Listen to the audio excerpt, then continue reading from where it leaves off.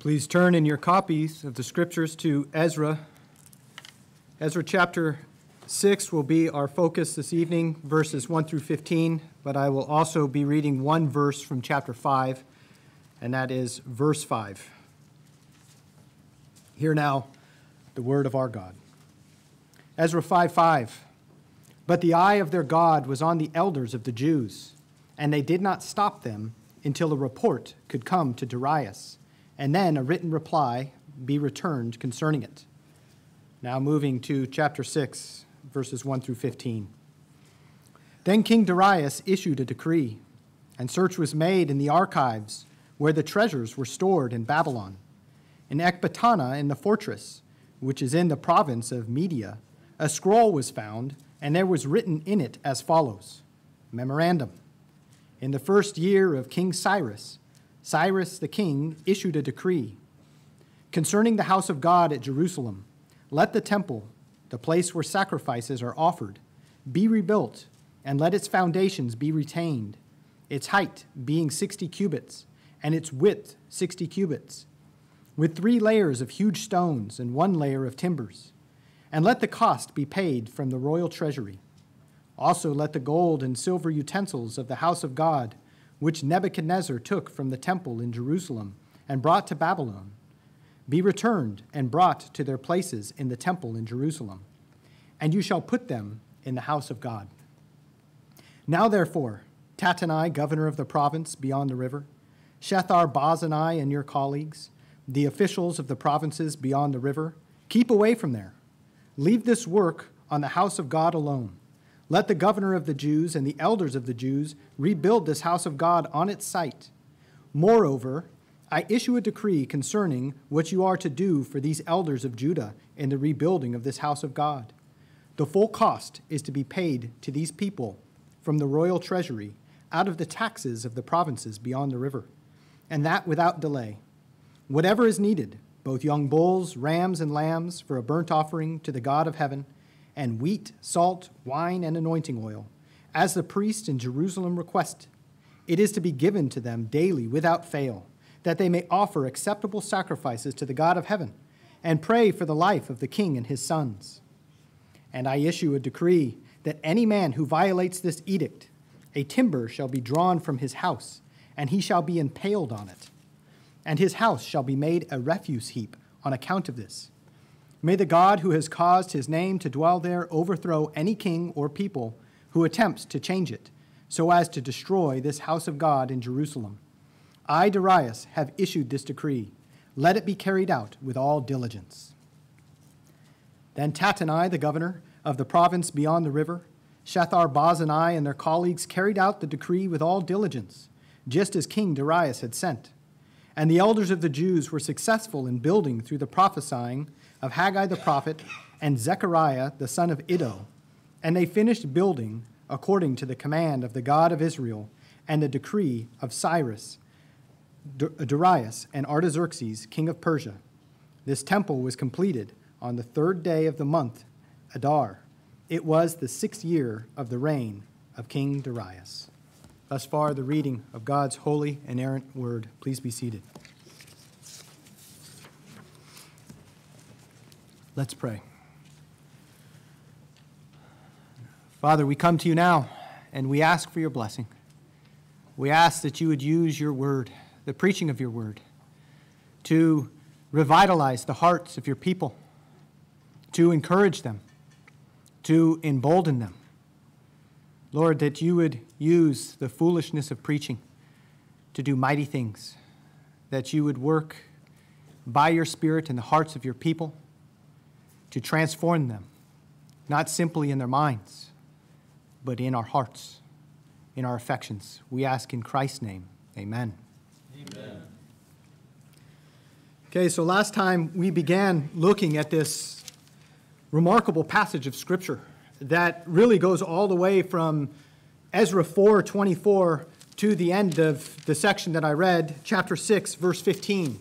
And what the passage is showing is it's the movement from the stagnation in the building of the temple to its completion. So if, if you remember that the temple had ceased to be, to, to be built for 16 years, that the people ceased uh, doing any work on the temple until God had sent his prophets to revitalize the work in 520 BC. And then uh, about four and a half years later, the work was completed. It was finished in, uh, on March 12, 515 BC. So, chapter 4 explained to us why that stagnation had happened. It was because of the opposition of the enemies of the Jews to the work of, of building. And then chapters 5 and 6, this section that we're now looking at, answers the question of why it was completed. That, that was the question that Tattenai and his colleagues were asking. By whose decree are you building this temple? Why are you building this? And the passage is answering that question. It is, it is because of God's decree. We saw last time that God worked through the preaching of his prophets, he worked through the powerful preaching of of Haggai and Zechariah, but it's also through the providence of God that God is, is working in and through the circumstances of the times to bring about his decree that this temple should be completed. So last time we, we focused on the preaching. Uh, we considered the, the doctrine and the teaching of the passage that God decrees to advance his kingdom through preaching and providence. Again, that God decrees to advance his kingdom through preaching and providence. So last time the focus was on the preaching. But this time we're going to look at God's providence, how he used his providence to bring about the completion of the building of the temple. I think it will be helpful for us before we dive into this, this passage together to be reminded of what is providence. We're going to be talking about it. It's a word that is, is frequent in our vocabulary. There are even cities in our nations named Providence. So, what is Providence? And our standards give a very helpful definition for this that after uh, defining the, the decrees of God, that, that God accomplishes decrees through the works of creation and providence, the Shorter Catechism asks, What are the works of providence? And it gives this answer God's works of providence are his most holy, wise, and powerful preserving and governing all his creatures and all their actions. That it, it, it pertains to God's preserving and governing of his creatures and all their actions. That God preserves his creation. That the, the world and the universe is not as the deists say, some wind up toy that, that God spun out and after he had created it, stood back and had nothing to do with it but that no, God and his providence is intimately involved in his creation to bring about his decrees that he has ordained for his creatures. That he not only preserves it, as we learn in Hebrews chapter 1, that he upholds all things by the word of his power, but he, he also governs it, that God is governing his creation. And we see that in Acts 17, where it says that he made from one man every nation of mankind to live on the face of the earth having determined their appointed times and the boundaries of their habitation. That God is upholding his creation, he is preserving it, and he is governing it. But you know, it's, it's not just that God did that in these four and a half years in the building of, of the temple, in the revitalization of the work of building of the temple. But this is what God does throughout the history of his creation. That God is working through providence now if you were listening closely to the definition of providence, it says that it, it, pertains to his powerful preserving and governing all his creatures and their actions. And since all of us here today are creatures of God, that means that it pertains to us. It pertains to you. It pertains to me. That God's providence affects our lives. And so as we work our way through this passage, it is imperative uh, for us to remember that this doesn't just pertain to the people of, of the 6th century BC in Judea. It pertains to you, it pertains to me. That the principles that we are going to draw from this of God's providence are principles that we can, we can look for in our own lives as well. So I would, as we work our way through this, like to make four observations from this text about providence. The first observation is, is that God's providence works through the actions of men. So the question of the text is by whose decree? And if we were to, to, to look at this on the surface, it might seem that it was by Cyrus's decree initially. We saw that in verses uh, uh, uh 1 through 5 of, of chapter 6. And also, if we are to look at chapter 6, verse 14, it mentions Cyrus and Darius and Artaxerxes. But if you read closely in, in verse 14, it says that they finished building according to the decree of, of the God of Israel and the decree of Cyrus, Darius, and Artaxerxes, king of Persia. So the question is, is whose, whose was it? Was it God's decree or was it man's decree? It surely can't be both, can it? Or can it? It can be. Because that is what theologians refer to as the doctrine of concurrence. That, that, that God is working in and through the actions of his creatures. That concurrence is the idea that God and humans act simultaneously to accomplish God's plan. And we've seen this already in the book of Ezra. The, the book of Ezra opens speaking to this, where in the very first verse of this book, it says, Now in the first year of Cyrus, king of Persia, in order to fulfill the word of the Lord by the mouth of Jeremiah, the Lord stirred up the spirit of Cyrus, king of Persia, so that he sent a proclamation throughout all his kingdom and also put it in writing. And even in this sixth chapter, if we were to skip down to verse 22, it says that, that God turned the heart of the king of Assyria toward them to encourage them in the work of the house of God. So that God had decreed that the, that the house would be built. But he did it in such a way that he worked through the kings of Persia, or as, it, as they're called here, the kings of Assyria. That he was working through their actions. And we see this throughout the scriptures. The, the classic text for this is found in the book of Genesis. If you remember the story of Joseph, when his brothers sold him into Egypt because they, they were envious of him. And he went down into Egypt and he went through all of his trials, all the imprisonment, and God eventually rose him up to the, the place of, of prominence to where he was second only to Pharaoh. And he went through all of the, the interactions with his brothers. And if you recall, after Jacob, their father, died, that his brothers became afraid. And they came to Joseph and they, and they said, Hey, Joseph, brother, before dad died, he told us to make sure that you're not mad at us for what we did to you. We did a lot of wrong to you, but, but he said that you should forgive us. And do you remember what Joseph said to them? It's, it's a classic text. He said, As for you, you meant it, uh, you meant evil against me, but God meant it for good in order to bring about this present result to preserve many people alive. You see how in that passage the, the brothers of Joseph meant their deeds for evil. They had evil motives. They, they were acting, they were doing something. They are the ones who were responsible for selling him into Egypt. But yet, God was also working concurrently at the same time, simultaneously, to bring about his purpose, a purpose for good, to preserve many people alive. We see this in our Lord, the Lord Jesus Christ, in his crucifixion.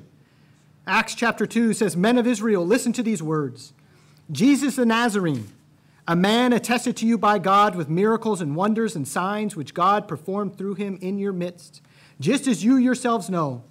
Listen, this man, delivered over by the predetermined plan and foreknowledge of God, you nailed to a cross by the hands of godless men and put him to death.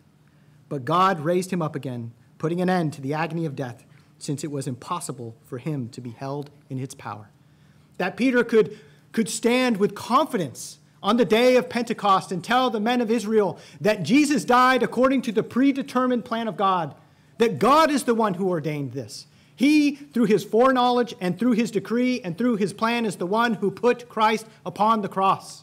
It was according to God's plan, but it was also through the acts of men who through wicked hands put Jesus to death upon the cross. And what's key here is, is to notice the motives. Yes, that, that, that God is working and man are working simultaneously, but the motives are important. We, we see that in, in God's use of, of the Assyrian Empire to, to chasten his people in terms of the Babylonian Empire. that, that Joseph's brothers meant it for evil, but God meant it for good. The men of Israel meant to crucify Christ for evil, but God meant it for good. And it's important for us to understand that. Because the question when we when we begin to think about concurrence, the questions that come up is, well, is if, if God has determined it, is he the one who is, is forcing man's hand? Is God, in fact, the author of evil? Is God the one who brings about the evil if he has determined all things? Once again, our confession is very helpful in answering this.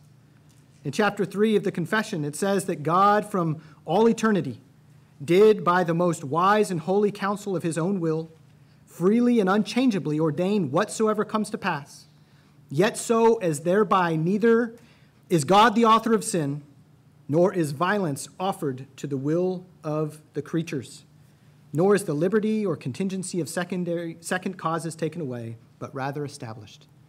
That God is not the author of evil. The Bible teaches us that, that God is light, and in him there is no darkness at all.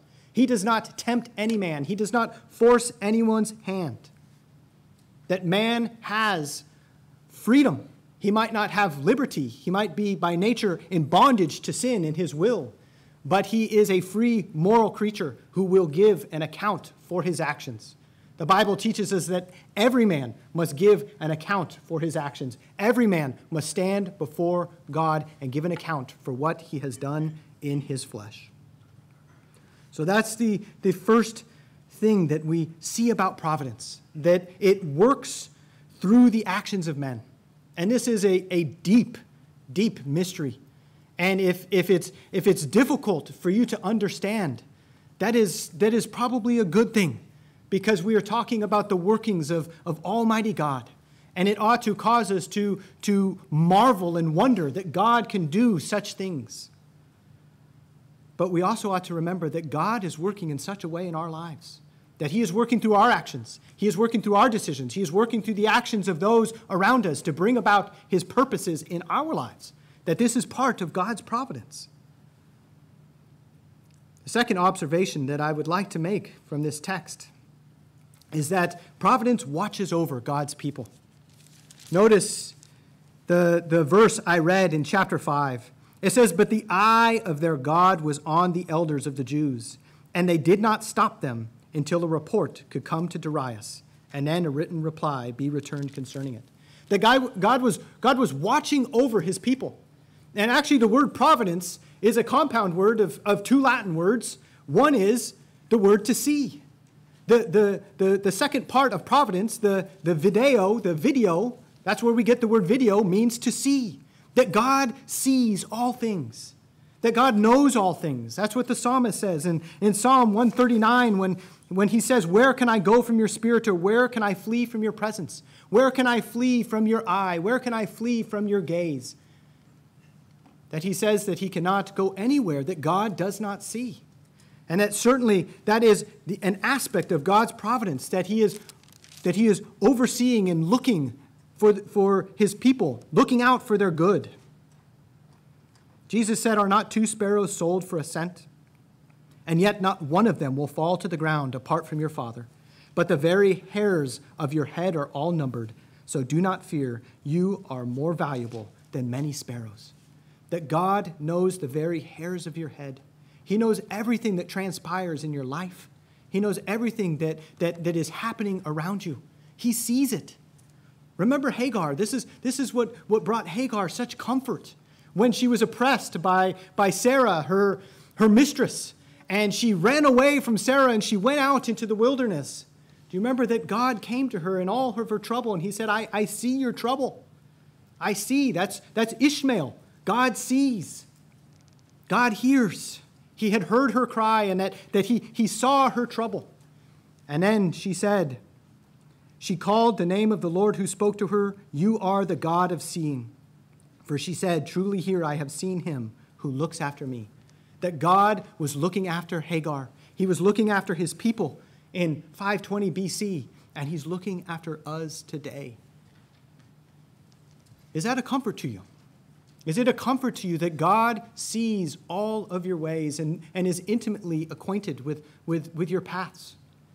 You know, unfortunately, sometimes the, the gaze of God is something that becomes a discomfort to us because of our sinfulness. That Adam in the garden, after he had sinned, became aware of his nakedness and he sought to hide himself from the presence of God. But because we have the, the forgiveness of sins in Christ, we ought not to shrink from the gaze of God, knowing that he sees everything anyways. He knows all of our sin, that it ought to bring us comfort, that we, we ought to be like Hagar, who take great encouragement that God sees us in all of our affliction, that he hears our cries, and not be like Adam and Eve, who hid or at least attempted to hide from the gaze of God. But it, it's not just that God sees, God foresees. That's the pro. Providence. Providence. He sees things beforehand. And this plays out marvelously in this text in, in the first five verses of, of chapter 6 as, as, as we see this search is, is, is undertaken. That supposedly there's this decree from Cyrus. Tattenai doesn't have the decree. Apparently the Jews didn't have it either because otherwise they would have just uh, uh, showed Tattenai and his men and said, Here's the decree from Cyrus. And we see that, that this search is taken to find this decree from Cyrus. And that God, years beforehand, had foresaw the need of this decree to be put in this, in this, in this house, that it would be found at the right time, that he foresaw the need of his people. It's even interesting as we read in the first verse of the book of Ezra that it says that Cyrus not only made the proclamation throughout his kingdom, but that he also put it in writing. That God knew exactly what would be needed in the future because he had decreed the future and that he sees the future. And so he, he ordained that this edict, that this decree of Cyrus could be found for the good of his people. And it's actually pretty interesting as you look at it because originally Tattenai said to go and search in Babylon. Search in Babylon for this, this decree of Cyrus.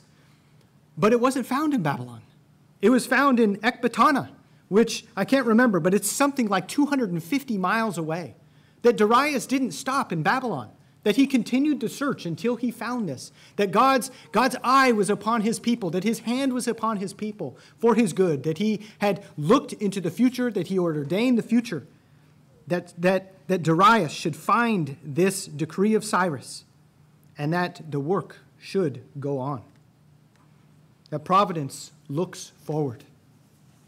But it is something that we, we read backwards, isn't it?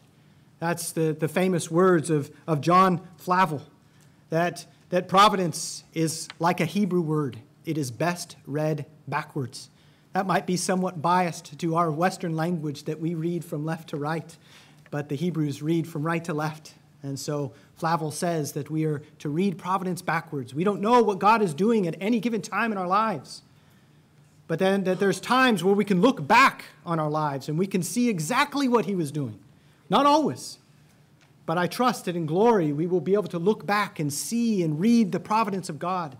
That we will, we will study his providence throughout all eternity as we see how he, how he, how he wove and interwove all the, the, the actions and the motives and the workings of men for his own purposes, and we will marvel at him for all of eternity, at this, this great being whose mind is so vast and so great, to be able to, to, to weave such a tapestry and to bring about such purposes as he, as he does in, in carrying out his decrees. Okay, so the Second observation the first was that providence, it works through the actions of men. The second observation, that it watches over God's people. The third observation I would like us to note this evening is that it brings good out of evil. We see this in verses 6 and following, where Tattenai had, had sent to Darius to find this decree of Cyrus, that it, it appears that Tattenai was wanting to, to thwart the work we see something of that in verse 5 of chapter 5, where it says that he did not stop them until the report could come. So here, Tattenai is, is, is not a friend of the Jews. He's not as evil, or at least as, as, as sinister as Rahum that we read about in chapter 4. He at least shows some integrity. But it's clear that he did not want this work to go on that this would have been an evil in the sight of the Jews to have the work stop. But yet, here we see how God works it together for good, don't we? That not only are they able to continue working, but that God brings peace to their labors. That God tells Tattenai and his colleagues, stay away, stay away from them, that they can work in peace. Not only does, does he bring peace, but he also brings provision. That he tells Tattenai that, that the work is to be paid for out of the taxes, out of the treasury of the proceeds of the taxes from the region beyond the river. That Tattenai, not only are you to stay away from the work, but you are also to pay for it. That you are going to pay for all of the animals, all of the, the, the oil and, and the, the wheat and the salt and the wine and everything that the elders of the Jews need. And beyond that, it also brought protection. It brought peace, it brought provision, and it brought protection. That we see this, this very, very clear warning from Darius that if they were not to carry out his edict, that they would be impaled. And this is something that, that the Persians did. This is the beginning of crucifixion, that they would impale people. If you look at the in, inscriptions, if you look in, in the, the, the, the British Museum or other places where they have these these, these works of art from the Persian period, you can see men impaled on stakes. And so here Darius says, If you do not carry out my decree, a beam will be taken from your house and you will be impaled on it, and your house will become a refuse. You see how marvelous this is that our God can bring good out of evil. That, that, that certainly the Jews must have thought this was a great evil. Remember that, that Tattenai came and said, Give us your names. We want the names of the people who are building. And it, this wasn't a quick inquiry. They didn't have Google search back then. This, this, this wasn't just on some hard drive somewhere or even telephones where they could call from Judea over to Babylon and say, Hey, Darius, check for this, this, this edict, this, this decree from Cyrus. Do you have it? No, they had to send a message all the way from Judea to Babylon. And then they had to search and not find it. And then they had to go from Babylon to perhaps Susa and look in Susa, and they didn't find it there. And then they had to go to Ecbatana and, and search, and they couldn't, and then they did find it. They finally found it. Then the word had to go back to Babylon. And then Darius had to give his decree and it had to go all the way back. Just think of how these people would have been thinking for all that time. Yes, they're building, but with, with a, perhaps a certain dread. Yes, Haggai and Zechariah are ministering to them. But they're wondering all the time what is going to come of this. And we see that God can bring good out of evil. And we see this in no greater place in all of history than in the crucifixion of Jesus of Nazareth. No doubt the greatest evil that has ever occurred on this celestial ball, that there has never been a greater evil than the murder of Jesus Christ that he was, that he was the, the Prince of Life, the Prince of Peace, the only innocent man to ever tread upon this soil, that he had done nothing wrong. He went about doing good, healing people, giving sight to the blind, allowing the, the lame to walk, the dumb to, to, to, to speak, the deaf to hear. That there was never a man like Jesus Christ. And yet he was placed upon a tree he was cursed just as the men whom Darius said would be cursed. As it says in the scriptures, cursed is everyone who hangs upon a tree. And yet, God, in his marvelous providence, in his great wisdom, was able to take the greatest evil and bring about the greatest good, that from the death of one man could, could result in the life of, of thousands, indeed millions, tens of millions of people we see how God can bring good out of evil. This is true not just in the lives of these people, not just in the life of Christ, but it's true in your life as well. No doubt you're all familiar with that famous verse in the book of Romans where it says that God works together all things for good to those who love God, to those who are called according to his purpose. That God is working together all the circumstances of your lives and this isn't to deny evil. We're not Christian scientists here who say that evil is just an illusion. No, the scriptures are very clear that evil is, is, is something. Perhaps not a substance. If you're an Augustinian, you would say it's a deprivation. But nevertheless, the scripture acknowledges evil, it acknowledges the pain and the sufferings in our lives. And in, even in the short time I've, I've been amongst you, I, I see how there is suffering even in this congregation. But we have the promise of Scripture that God is able to work together all things in your life, including all the evils, all the pain, for your good. Okay, the third observation was that God's providence brings good out of evil. The final one is a, is a, is a short one, and it is that God's providence accomplishes his decrees. We see that in verses 13 and 15, focusing, focusing in on verses 14 and 15. It says, And the elders of the Jews were successful in building through the prophesying of Haggai the prophet and Zechariah the son of Iddo, of Iddo. We saw that last time, that God accomplished his decree through the preaching of these men. It says, And they finished building according to the decree of the God of Israel. That God accomplished his decree. That indeed God has decreed whatsoever comes to pass. He knows the end from the beginning. He has, he has decreed it before he even spoke a single word of creation, before he ever said, Let there be light. He had ordained everything that would come to pass. And that through his providence, he is bringing his decrees to pass. That he uses secondary causes, contingencies, and, and, and, and other things to accomplish his purpose. And that God will fulfill his purposes for you. He, know, he knew all of your days before there was but one of them. He knows every single thing that is ever going to happen to you. He has ordained it, and he, has, he is fulfilling his decrees through his providence in your life. Okay, so the four observations were that it works through the option, uh, that providence works through the actions of men, it watches over God's people, it brings good out of evil, and it accomplishes God's decree. And we see that God did work providentially in this passage to bring about his decree. I want, as we close, I want you to put yourself in the shoes of, of Zerubbabel and Joshua the high priest and the elders. Not so much in chapter 6, but in chapter 5, when Tattenai came to them and said, I want the names. I want the names of the people who are building here, and I want to know by whose decree are you doing this? What would have been going through your mind? What would have you been thinking? Would have you been thinking, hey, I'm just trying to do what God had told me to do? The prophets are here. They're, they're encouraging me. They're telling me to continue building, and I'm just trying to build.